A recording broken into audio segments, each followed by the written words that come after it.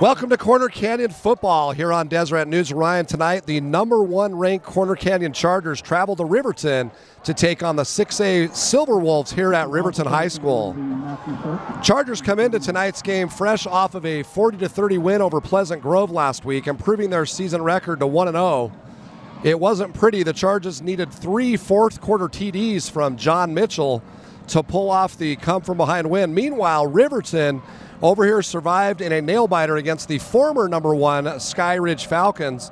Both teams had to endure hour long lightning delays. So here we go. It's the Chargers and the Silver Wolves here on Deseret News Rewind.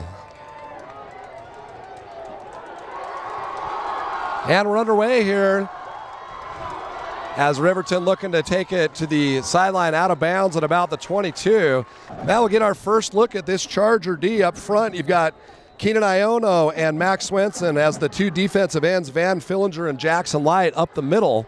And I think they're going to be a huge key tonight as Riverton, right off the bat, runs the ball. Fillinger right there in the middle to fill up that gap. And it looks like it'll be a gain of maybe a yard. Silver Wolves 1 0 again as they beat Skyridge last week, and the pass complete. And it's going to be a Silver Wolf first down Pass complete outside to number 14, Carter Miller, the junior wide receiver. And here's a run around the outside. And met immediately there by number 23, Quinn Andra. And Chapman, the ball carrier, able to pick up about four yards. It'll be second and six. And here's the handoff right up the middle and a little bit of room in there. Looks like they picked up maybe three yards, and it'll bring up third and a long two, depending on where the spot is. As there it is, the ball's on the turf, and I think the Chargers have the football. And it, they do. It's recovered by number 91, Van Fillinger. It'll be Charger football. And that Charger D comes up with a big stop. And they start the game out right here as they force the early turnover here and will take over at the 45. Here's Cole Hagan, who had a big week last week and just overthrown John Mitchell, the intended receiver.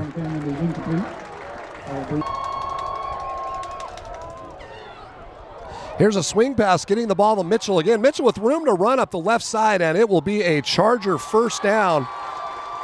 So Hagan to Mitchell. Move the chains. It'll be Corner Canyon football, first and 10 9.15 to go here in the first quarter. Here's Hagan around the left side, and Hagan with a little bit of room to run on the short side of the field. And it looks like he's going to pick up seven or eight yards. Here's Hagan looking to tuck the ball and run. He's got a little room outside over the 20 and then out of bounds at the 18. Welcome back after the timeout. Hagan in the shotgun looking down the left side and he underthrows it. The ball is picked off and Riverton running it back. And credit the Riverton defense with the turnover as Hagan turned and threw it up. And it's intercepted. So out of the timeout. Here's Coggins in the shotgun. Riverton with their second possession of the night. And ooh, that one pass was intended for number 24, Peyton Tafoya.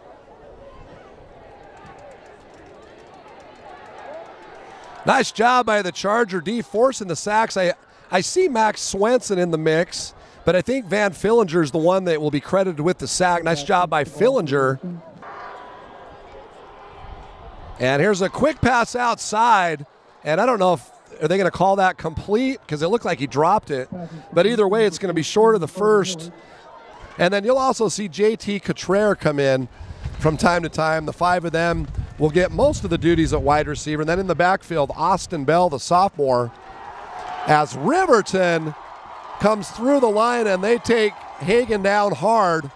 And the referee brings the ball back to the 21, so it's just a four yard loss. Here's Hagan. And nice pass across the middle, picking up some of that yardage back is Austin Bell, the sophomore running back. Six and a half to go here in the first. Here's Hagan. Hagan finds Mitchell, and Mitchell with a little bit of room to run, but he is going to be well short of the first as Riverton will be forced, or excuse me, Corner Canyon will be forced to punt the football. Coggins with the handoff right up the middle, and it looks like it'll be a short gain of maybe two. Of course, over at Corner Canyon, we had a light lightning delay as well.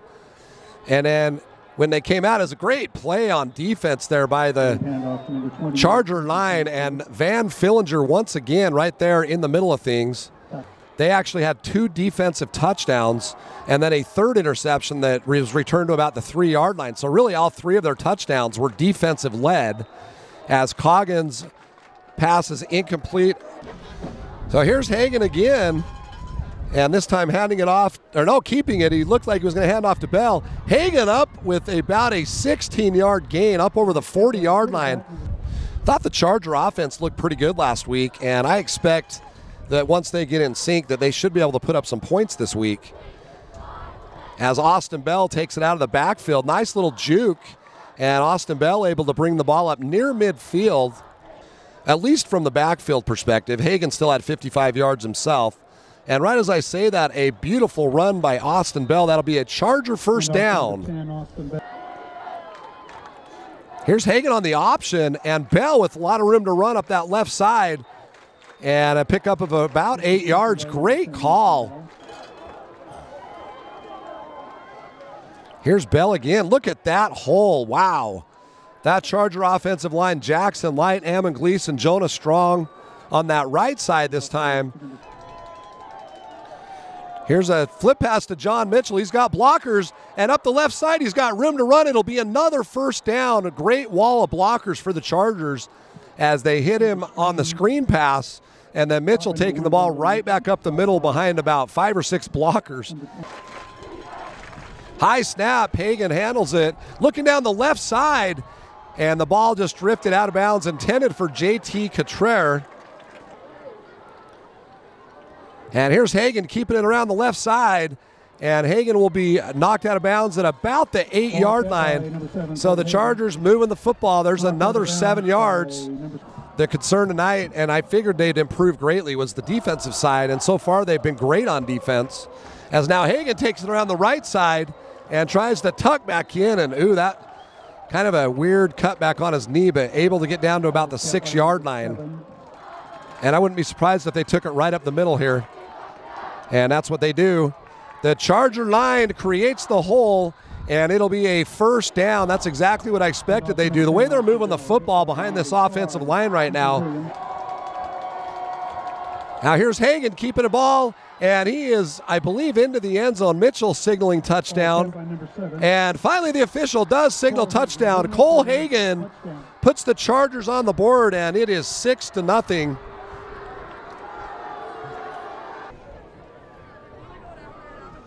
Here's Coggins in the shotgun. And a run up the middle and then cuts it outside. Nice run. And now bouncing outside. That should be a first down for Riverton. And on the run is number 11. Welcome back. Corner Canyon football here to start the second quarter. Chargers 7, Silver Wolves 0 as Riverton hands it off. And what a play on defense. No gain, nothing doing up the middle right there. And oh boy, my goodness, did you see John Scheffner coming? He absolutely killed the receiver. And Scheffner was looking to actually intercept the football and didn't get there in time, so he actually laid a solid hit on number 88 for Riverton. Big third down here for Riverton. Here's Coggins on the rollout, and that ball way out of bounds, intended for number 23. Welcome back. Chargers in the shotgun. That was a really short break as pass intended for Noah Kerr, excuse me, Noah Kerr. Here's Hagan under pressure, and he's going to be brought down at the 35 yard line. Now, this is a big third down play as Hagan in the shotgun looking downfield and oh, just over the outstretched hands of John Mitchell. Chargers have tried to go down to Mitchell a couple of times, but Hagan just barely overthrew him. Oh, nice catch That ball looked like it was going to be just a little bit too far out, but what a beautiful catch by. 14, Carter Miller. It's actually uh, number 14, Carter Miller. Here's Coggins with the handoff up the middle, room to run, and into the secondary. Finally brought down by John Scheffner, but that will be a Riverton first down, and that's Riverton's biggest offensive gain of the football game. As Coggins looks to the left side and has a man, but it's incomplete, and well defended by number 23, Quinn Andra. Second and 10. Here's Coggins, and he'll keep it, and immediately met by number 55, Kenan Iono. And look at the Charger defense. Three or four guys in on the play. Van Fillinger, Jackson Light, and Kenan Iono.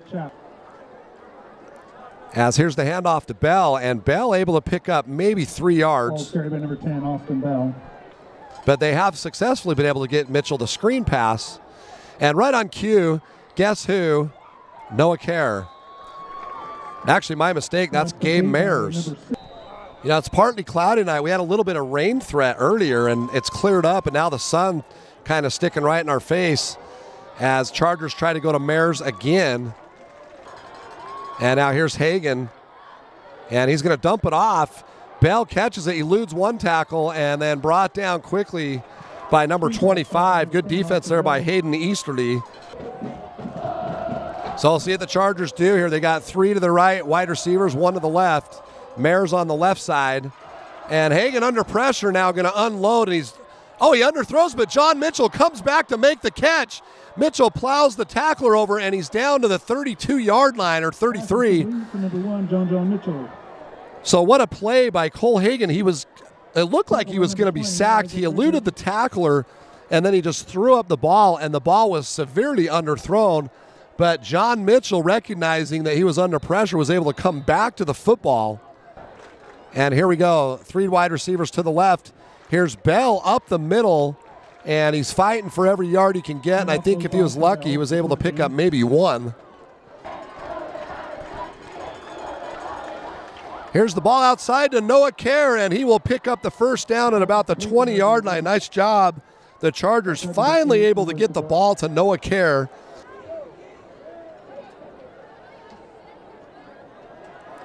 Looks like we may have a hold in the backfield as the ball thrown downfield. Trying to see what happened. They threw the flag back here behind Cole Hagan, and that's exactly what it's going to be a holding call on Corner Canyon. You can see that sun now coming across the field. It's about to go behind the mountain. As Hagan looks downfield, he's got Mitchell wide open. It's a Charger touchdown. John Mitchell able to free himself down, and Cole Hagan found him. It's the, another touchdown for Mitchell and his fifth on the season. as they've shut out Riverton here with five minutes to go. And the ball tipped up and intercepted by Josh Wilson. Wilson still on his feet. And Wilson finally brought down at the 27 yard line. The Chargers come up as we're talking about their D improving. And Josh Wilson with his second interception of the season. And it'll be Charger football on the 26 yard line 25 yard line. as we are at the 455 mark here in the first half. Corner Canyon 14, Riverton 0. Here's Hagan looking deep to the right side. He's got Mitchell in the corner of the end zone, and Mitchell almost comes up with it, trying to bring it in with his right arm. As Hagan now looking to get it to Noah Kerr, and Kerr able to bring it up over the 25 for a short gain. It'll be third down. Third and six here for the Chargers. Here's Hagan. Hagan looking to the left side, lobs it up, has a man, and it's brought in. That's a touchdown, Chargers. And I think it was trying to see who caught the ball. Pass caught by number 26, Connor Clark- Henry.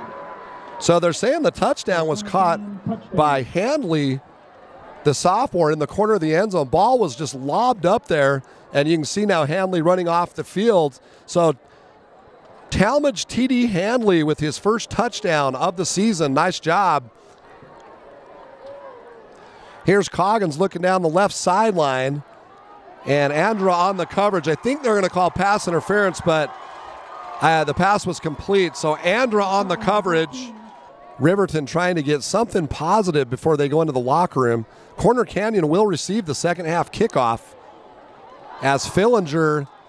So Van Fillinger put the pressure on Coggins, and then on the outside, great coverage by Cooge. Second 10. Here's a run up the middle, and uh uh not against this Charger D tonight. Josh Wilson, or actually, no, that's Cade McDougal. Cade McDougal was able to come in and make the tackle. You can see Cade right there celebrating, number 24. And here's Coggins airing it out, well defended and covered, and the ball knocked down. John Scheffner was all over the coverage, so I didn't think that thing had a prayer. Andrew McDonald was also in on the coverage. As here's Bell with not a lot of room to run. He's trying to fight for everything he can get. And after all of that, I don't think they got anything out of it. I think it's going to be second and 10. So down to 2.22 to go in the first half. Here's Hagan in his own end zone looking deep, and he's got Mitchell. Mitchell goes up and hauls it in just over midfield. What a great catch by John Mitchell. And credit the Chargers for being aggressive as Cole Hagan was actually in his own end zone when he threw that football, and Mitchell caught it at about midfield, so about a 50 yard pass in the air. You know, Cole Hagan, 3 0 as a starter. He started two games last year, and of course, last week against Pleasant Grove. So 3 0. He's a junior, and he's a good looking quarterback. Chargers have a bright future as he hits Noah Kerr across the middle and Kerr able to pick up about 30 yards. So we start talking about Cole Hagan, and Noah Kerr was wide open. As now Hagan going to look to take the snap, and there's the run. I was, oh, and he breaks free. Bell up the middle, touchdown. I thought they would run it just to kind of kill some time, but my goodness. Austin Bell takes it up the gut, and the Chargers strike again. It is now 27 to nothing.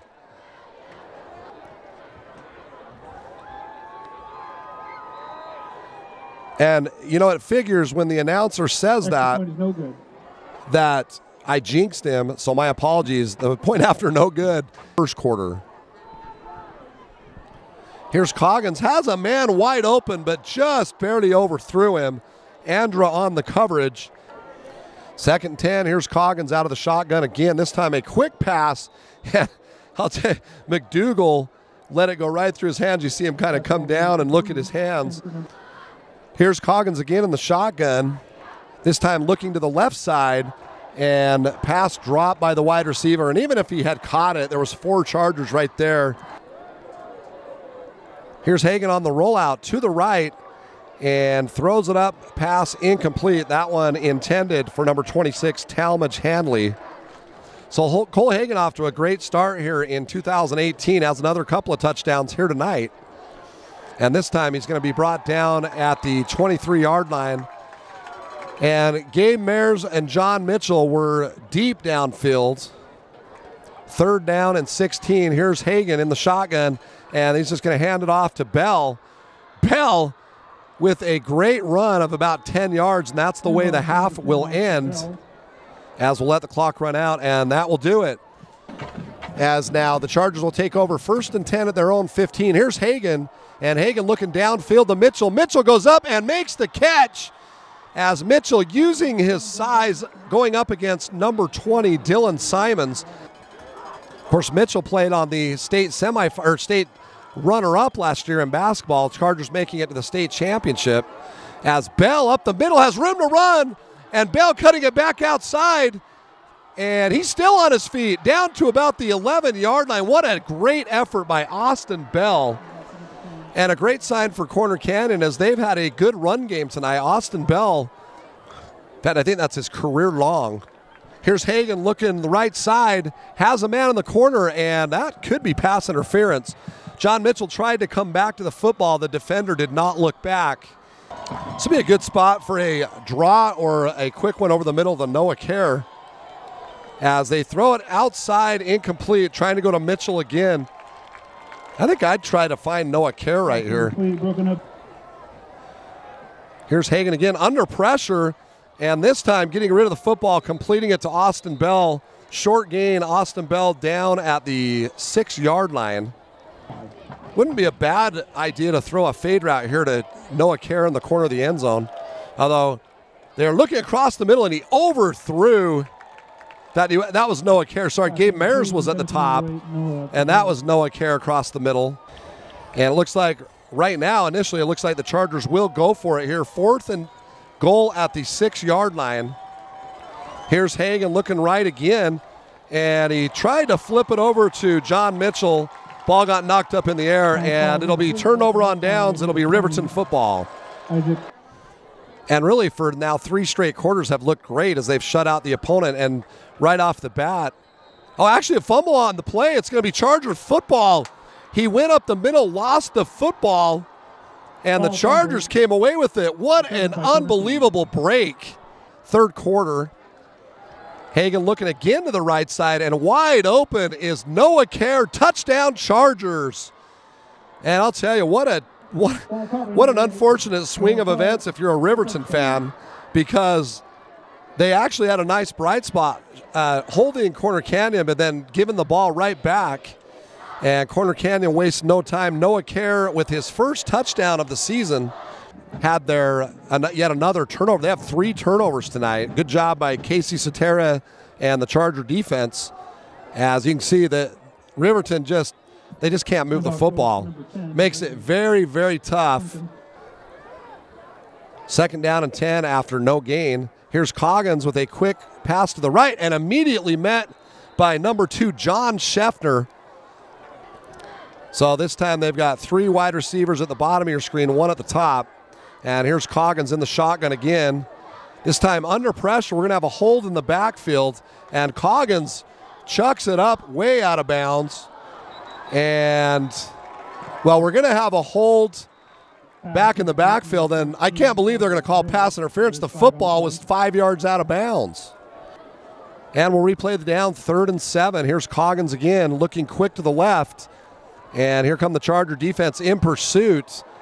And a nice play there by number 21, Andrew McDonald. And it'll be another fourth down. Riverton going to have to punt. Well, here's two wide receivers, top and bottom. Here's Hagan in the shotgun. And Hagan looking to dump it off quick. He's got Noah Kerr. Kerr with room to run. Kerr outside. And Kerr across the 45 yard line.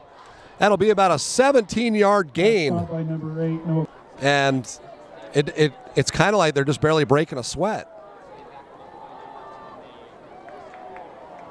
Oh, what a great effort as Austin Bell was going to be tackled for a loss and then able to spin out of it. And he, eh, what did he pick up? Four yards there? Second and five, right at midfield. Here's Hagan. He's going to keep it and be dropped maybe a half a yard gain just over midfield. It'll be third down and four. The ball's been spread around pretty evenly tonight as different guys have contributed. As now Austin Bell again with another big run, 15 yard pickup, and yet another Charger first down. Corner Canyon first and 10 at the 35. Six and a half minutes to go here in the third. And here's Kerr. Oh, he took, he started to run before he caught it.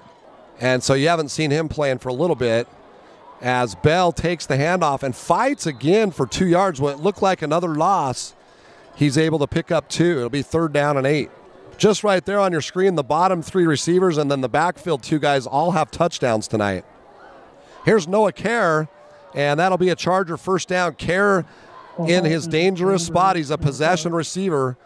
Welcome back to Corner Canyon football here on Deseret News Rewind. Out of the timeout, Corner Canyon now with just one left in the third quarter in the second half. Here's Hagan looking down the left side. He's got a man, and just off the fingertips, fingertips of JT Cottrell. It'll be second 10. A lot of people around the state were interested, and I wasn't particularly myself.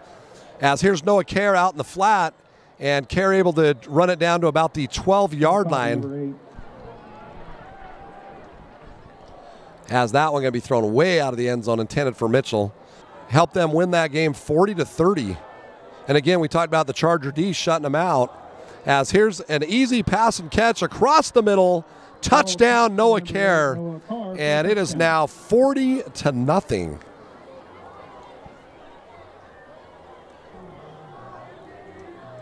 So here's Riverton. Nothing up the middle. It'll be second down and 11. Looked like Cade Carlson and others in on the tackle. Under three minutes to go here in the third.